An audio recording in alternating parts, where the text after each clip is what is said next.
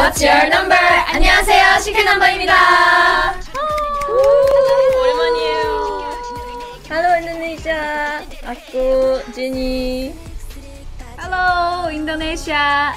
I'm Lea. Nice to meet you. 악구, 악, 악구라 했나? 맞아 맞아. Hello Indonesia, aku Sudan. Nice to meet you. Wow. Halo Indonesia, aku Denise. 오.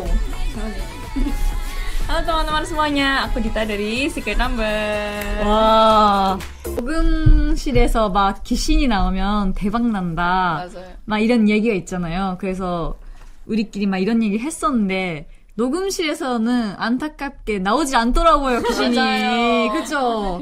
근데 하지만 하지만 저희가 이제 안무 연습하면서 밤 늦게까지 싸한 느낌이 들더라고요. 갑자기 연습하고 있는데 엘리베이터가 왔다 갔다 하는 거예요.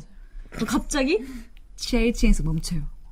문이 열려요. 네, 저희가 이 지하 1층까지 연습하는데 근데? 아무도 없어요. 대박이죠. 그 지하 1층 근데 꼭문 녹음할. 때 그런 거예요? 대박 난대요? 녹음할 때만? 아니 연습실에서도 있었으니까 대박 날 수도 있어 이것도. 대박 날 수도.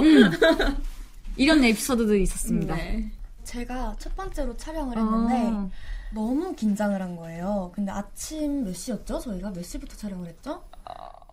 9시? 네, 9시부터 이제 차- 촬영에 들어갔는데 너무 떨어서 제 파트 때 진짜 뭐 뭘 해야 될지도 모르겠고 긴장해갖고 막 계속 아, 어떡하지 어떡하지 하다가 이제 언니들이 앨범의 컨셉은 네. 보시다시피 약간 다섯 소녀들의 정말 당돌하고 만화 같은 하루라는 모티브로 만들게 되었는데 그래서 앨범 안에도 되게 팝아트나 카툰 만화적인 요소들이 많이 들어가 있고 타이틀곡